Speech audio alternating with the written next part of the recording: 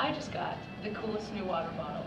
And it fits very conveniently into my black bag. Only that it's kind of cute, my color. It's called the Bubi. Very simply, easily, unravels, opens up, and fills up. And then, look at how cool this is. I can hook it right onto my bag.